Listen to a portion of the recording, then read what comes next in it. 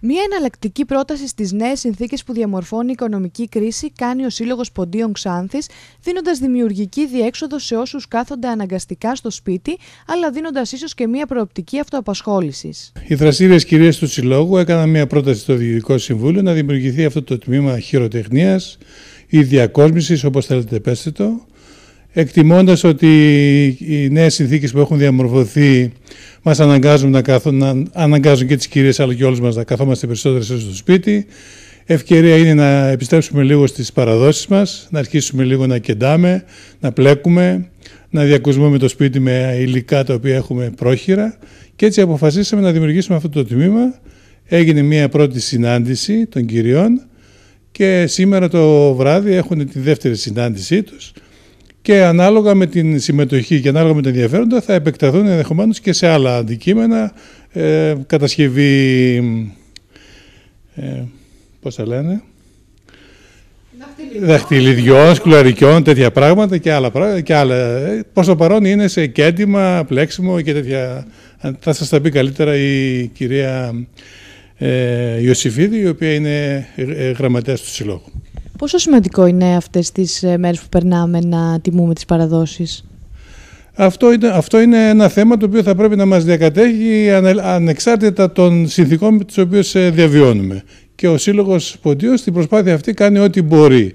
Είτε με τις ε, διατηρώτες παραδόσεις σε ό,τι αφορά τους χορούς, τα τραγούδια και την ιστορία του ποντιακού ελληνισμού, είτε ό,τι αφορά το, τη διατροφή Έχουμε και τμήμα στο οποίο μαθαίνουν, μπορούν να έρθουν να μάθουν οι κυρίες τη διατροφή στον πόντο και τώρα αυτό το τμήμα νομίζω ότι συμπληρώνει ένα κενό που υπάρχει στην όλη προσπάθειά μας. Ε, κάναμε αυτό το τμήμα, ε, λίγο ή πολύ και η νεολαία μας να αρχίσει να μαθαίνει να μπαίνει στο νόημα του κεντήματος και του αυτού γιατί έρχονται δύσκολες εποχές. Γιατί από ό,τι ξέρετε και εσείς, ορμόμενοι βέβαια και από τις ε, κόρες μου κλπ. Η νεολαία σήμερα δεν, ε, δεν ξέρει τίποτε ούτε από κέντημα, ούτε από πλεκτά, ούτε από... γύρω από τη χειροτεχνία, ό,τι τέλος πάντων προκύπτει.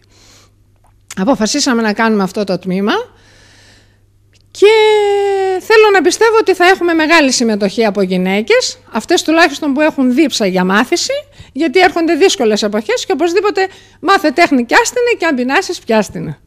Λέγαμε λοιπόν ότι σε τι ηλικίες κυμαίνεται η μέχρι τώρα ομάδα; Η ομάδα από 18 μέχρι και 60 ετών κυρίες είναι μέσα.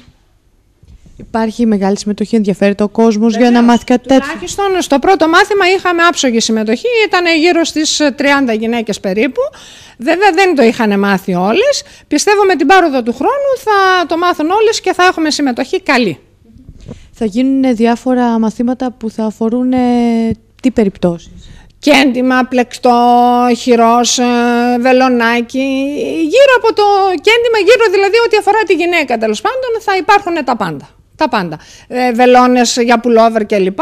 Ό,τι, ό,τι χρειαστεί και ό,τι θέλει κάθε μία. Υπάρχει δηλαδή η κυρία Χαβατζανίδου Γεωργία λέγεται, η οποία ασχολείται πάρα πολύ με αυτά και έχει δίψα και όρεξη να μάθει και την καινούργια γενιά πώς θα κεντήσουν, τι θα πλέξουν κλπ. κλπ.